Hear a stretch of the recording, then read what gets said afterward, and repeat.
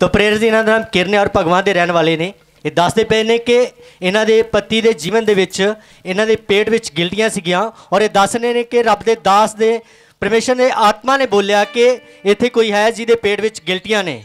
ਔਰ ਇਹ ਦੱਸ ਰਹੇ ਨੇ ਕਿ ਜਦੋਂ ਪਰਮੇਸ਼ਰ ਦੇ ਦਾਸ ਨੇ ਇਸ ਤਰ੍ਹਾਂ ਬੋਲਿਆ ਲੇਕਿਨ ਉਹ ਅਸੀਂ ਉਹ ਹੀਲਿੰਗ ਨੂੰ ਉਹ ਪ੍ਰੋਫੈਸੀ ਨੂੰ ਸੁਣਾਂਗੇ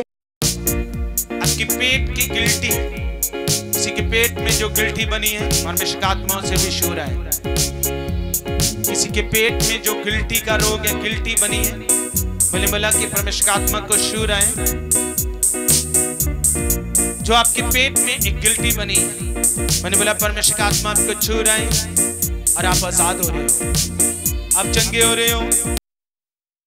तो बरेर जी दसते पे ने कि इस हीलिंग इस प्रॉपसी इन्होंने रिसीव किया और ये दस रहे ने कि जो पेट में गिल्टी सी हूँ कोई गिल्टी नहीं है इस मे सामर्थी नाम के पूरी तरह आज़ाद हो चुके हैं और इस गवाही के लिए परमेश्वर का धनवाद करा ज़ोर से तारीफ़ करा खुदावंत खुदा की। ज़ोर से ज़ोर से महमा करेंगे परमेश्वर की।